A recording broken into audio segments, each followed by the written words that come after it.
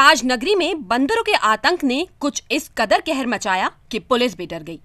बंदरों के आतंक से पुलिसकर्मियों को बचाने के लिए अब विभाग ने लंगूर को मैदान में उतारा है। चौंकाने वाली बात है लेकिन शत प्रतिशत सही। आगरा में अब पुलिस विभाग ने लंगूर को बकायदा प्रतिमा की तनख्वाह पर नौकरी पे रखा है। वो भी रखे हुए इसको। बंदर भाग जाते हैं इसे देख के? हाँ इसे देख के बंदर भाग जाते हैं।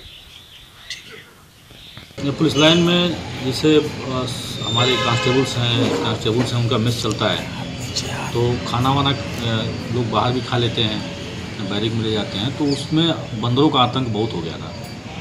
तो उसको भगाने के लिए लंगूर रखे गए बंदरों के आतंक से ताज नगरी की जनता के साथ साथ अब पुलिस भी खौफजदा है।